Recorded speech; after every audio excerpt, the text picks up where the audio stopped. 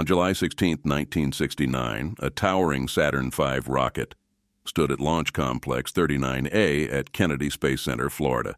Inside the command module sat three astronauts Neil Armstrong, Buzz Aldrin, and Michael Collins. Their mission, Apollo 11, was to achieve what humanity had only dreamed of landing on the moon. As the countdown reached zero at 9.32 a.m., the engines ignited.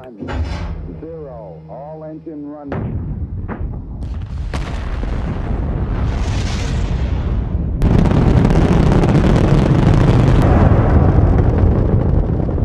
Just over 12 minutes later, they had reached Earth's orbit. After a final systems check, they fired the third stage engine to propel them toward the moon. For three days, they traveled through the vast emptiness of space. As they neared their target, the moon's gray surface grew larger, revealing an alien world untouched by humans. At 1:46 p.m., the Eagle separated from Columbia. Armstrong and Aldrin began their descent. Then at 4:17 p.m., the words were heard back on Earth. Houston, uh, Tranquility Base here.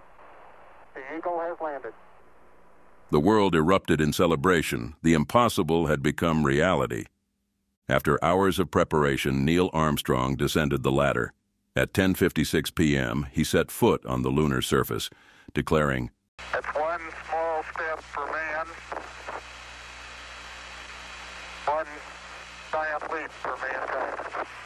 The first human footprints had been left on another world. Soon after, Buzz Aldrin joined him, describing the moon as magnificent desolation. The two astronauts spent over two hours exploring. They conducted experiments, planted the American flag, and received a call from President Nixon, who congratulated them from the White House. They collected lunar samples and took historic photographs before returning to the Eagle. After a few hours of rest, they launched back into orbit, docking with Columbia. On July 24, 1969, after a fiery re-entry, Apollo 11 splashed down in the Pacific Ocean.